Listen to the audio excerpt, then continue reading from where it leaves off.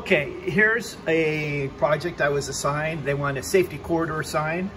So what I did is I went to Google and I started looking at the safety corridor signs, um, trying to get some ideas. There's really nothing in the MUTCD for this. I kind of like this, the safety corridor right here uh, with the, um, you know, safety corridor with some verbiage in there. And then I liked up here, they had some logos in here and, you know, I didn't want just plain like this one right here. I just didn't want plain black and white. Um, the message boards we have up there, that just, you can't leave them out there all the time. Um, so I came up with this safety corridor. Got the CHP logo, the county logo. It says safety corridor, slow down, the life you save may be your own. We had this problem up in the Butts Canyon, uh, people speeding. So what I did is I designed it. I took a picture of it, snapshot I guess, printed it out, went into the boss, got his okay. He said run with it. So here's how we run with it. Okay, we send it over to the HP 365 printer and it's printing out everything.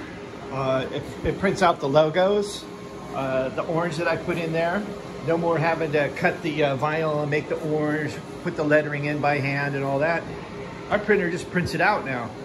So after it's printed, what I have to do is I have to put a clear laminate over the top of it, which protects the ultraviolet light, the sun, from fading it. So I'm gonna go ahead and do this and I'll show you the next step.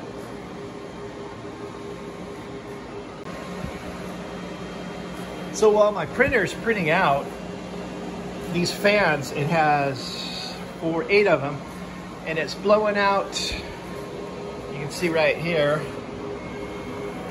uh, the current temperature is 225 degrees, so it's blowing out 225 degrees out of here. Obviously, you don't want to put your fingers in there, it's going to kind of hurt. What it's doing, the ink is being laid down. It's a water-based ink, and then a cure is coming through here. Then through here, it's perfectly dry. If I was to lift the lid and touch in there, it would smear because it's wet. And here's what it does to my thermometer. So right now inside my shop, it's about 75. When I first started here, it was just slightly over 70, maybe 71. So it's raised my temperature about four degrees in the shop. And it, uh, it's nice here in the in the winter time. Well, you know, it's kind of winter. It's little drizzly, rainy out today, kind of cool. So it's nice in here. I can work in here in a t-shirt and stuff because this is just an old tin building um, built probably in the 50s, not very well insulated, but it does heat it up. And in the summertime, I've got an air conditioner up there that will uh, kind of keep the place cool for me. So double-edged sword with the printer. Great in the winter, not so great in the summer. Okay, here's my control panel on the HP 365. This is the image I'm going to be painting, printing, excuse me. And here's the temperature. It's got to get up to 225 degrees before it'll stop, start printing so it can cure the ink when it comes out. Um, there's my other sign that's in there. I, want, I need two of them, one for each section of the road. So it'll start to print here pretty soon. As soon as it gets up to its temperature, you can see it's starting to advance the um, substrate a little bit right now. Then the print heads will come along and they'll get all ready to roll here. And as you can see, it's starting to print out the image right there.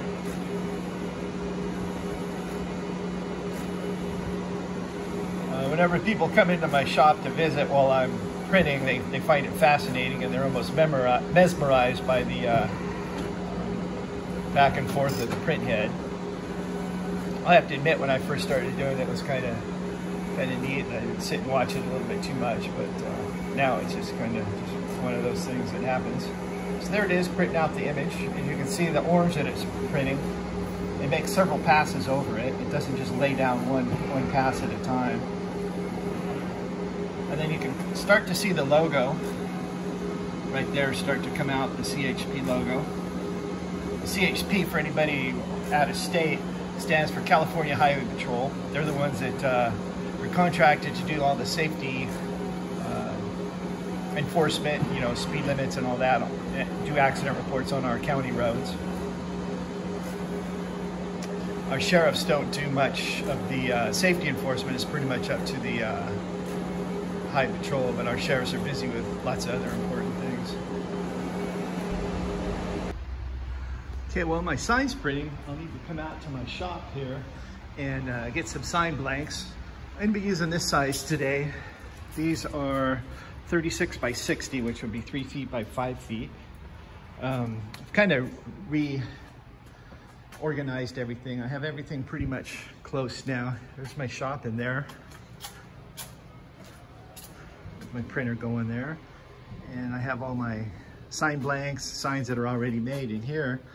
And then right here, I have my container that I send back to Zap for uh, refurbishing. We refurbish all our old signs. Have my posts. I have some posts that are up top too. Uh, I don't, just don't have enough room to store them all in here. My 10 foot, 12 foot Telespars, my anchors over there, um, some more sign blanks and various signs that I have to go, backup generator, air compressor, my anchors, like I said, uh, a little overflow here for different types of anchors and different stuff that I have. Um, try to keep everything organized now. At a place, here's my sign truck parked here. It's raining today, so I'm not out working. I'm leaving at noon today anyways. But uh, in order to get ready, all I have to do now just get my sign blanks out there. I'll dust them off and get, make sure all the dust and dirt's off of it. But I don't have to cover them anymore because it's printed directly onto the sign um, substrate.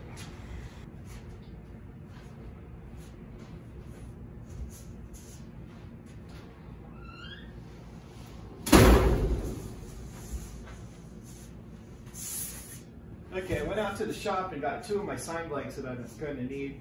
These are 36 by 60, 3 foot by 5 foot.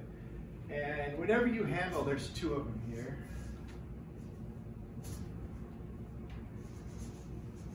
Whenever you handle oversized blanks, or usually whenever I handle any blank, I always have a pair of these, like they're just like cotton gloves or whatever. Any kind of glove will work. Um, these edges can have burrs on them, and if you if they slip out of your hand, they can really cut your hand. So be careful handling your metal. Always wear your PPE, personal protective equipment.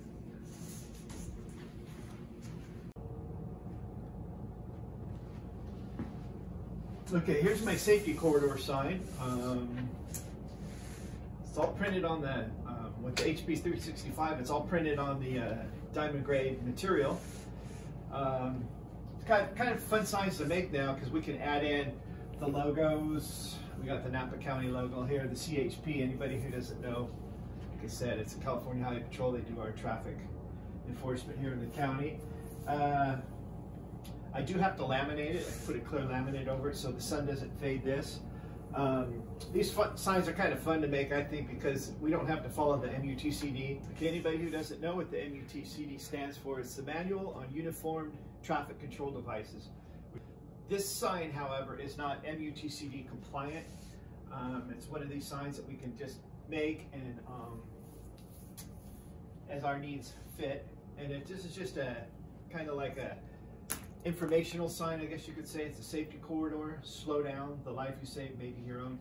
We've had so many crashes up in this area. Um, we've actually nicknamed it Dead Man's Turn because it's, I put flashing lights, we've put chevrons, you know, slow to 25. If you drive this at the suggested speed of 25, you will never have any problems. It's when the people try to go 70, 75, and then try to sue the county because they crashed. It just doesn't work. So, like I said, I'm going to go ahead and laminate this. Okay, what I do is I put my laminate on a, this roller that I have. It's a little double roller. It came with the table. I'm not sure exactly where you got them. I'm sure a lot of uh, graphic supply places will have them. But it, it's pretty handy because then you can just roll out your laminate. This is referred to as a cold laminator uh, because we're not putting any um, heat on it or anything to, to um, or run it through a machine. It's just done by hand. What I do is I put enough laminate over to cover the area that I'm going to be using.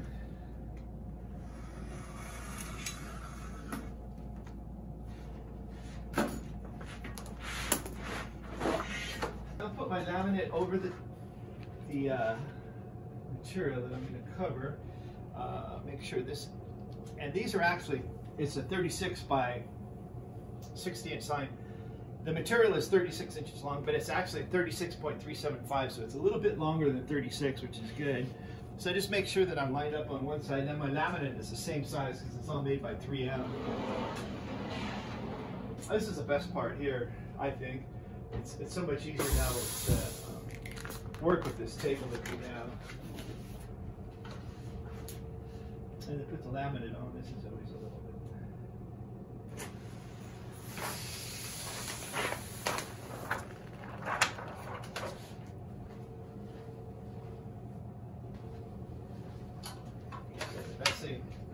The most important thing though is to keep your fingers off of the laminate so you don't put fingerprints in it.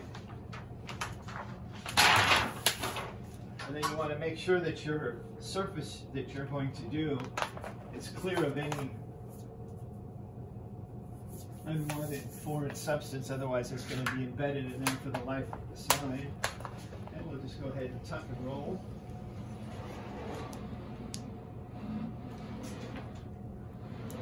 One side, and we'll flip it over. That section that I tucked makes it nice just to peel up, grab, and peel back. Check and make sure I have no foreign substance. Laminator this way now. Or the laminate, I should say. Okay. There I have the laminate installed on top now, applied I should say. And this sign will be good to go for probably 10 years or more. Prepare my surface, I'm going to spray a little bit of this rapid prep on here. Uh, it'll remove any grease, dust that's been, um, you know, it could be dust on it from being stored out in my storage shed. You can see it'll remove some of the dirt, some of the grease, so I'll get a good um, adhesion of my material that I'm going to lay over the top of it. Okay, now that I have my um, sign, the substrate, the diamond grade, my printed material, I guess you call it, I'm going to apply it to the sign blank that's underneath. I have it kind of lined up how I want it.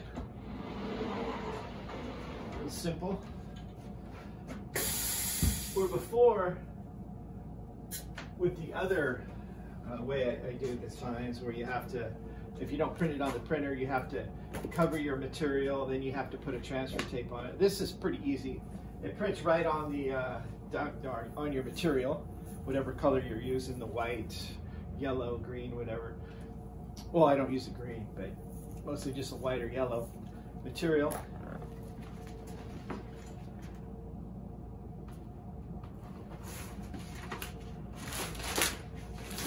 And with this table now, we can make signs that are four feet wide, probably nine feet long if we want.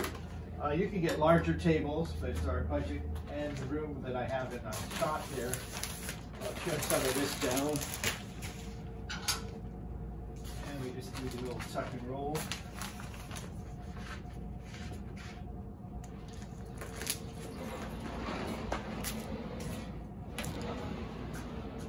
Flip it back and do the other side. When I fold it under like that, it gives me a way to grab all the material out.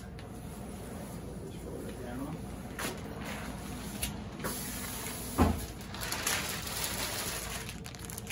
Now basically all I have to do now is trim this out.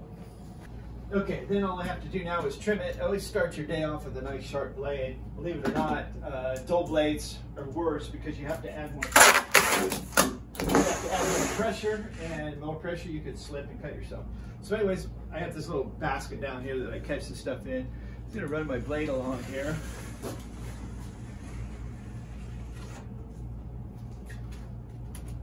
So there's basically what I end up with my waste, which is pretty good, I think.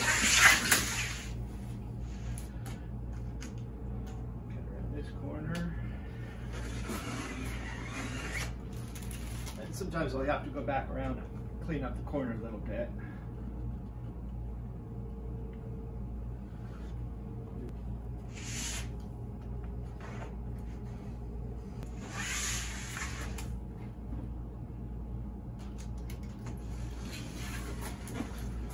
Have it. Nice and simple and easier to make now. My uh, safety corridor sign. slow down. The life you save may be your own. We got the county logo, CHP logo. Um, no more of having to do the, uh, you know, sheet it with the orange on top and then lay the borders around and put the lights or the lettering in and then have to put the uh, logos on. So now it's all done at one time. So we'll see if this helps at all to slow people down. Like I said, we've tried just about everything we can think of to try to slow people down and nothing seems to be working.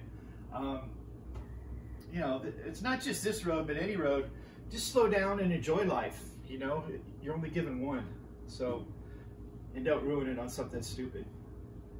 So, to all the people that are uh, don't heed the advice, I don't know what to tell you. But another job done. You know, there was some concerns.